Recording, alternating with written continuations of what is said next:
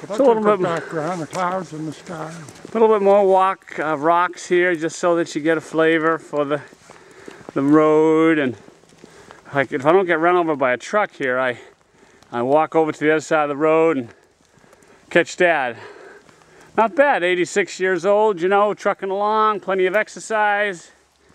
I hope I'm in nearly as good a shape at 86 uh, as Dad is, but uh, I guess I have to wait a few years yet.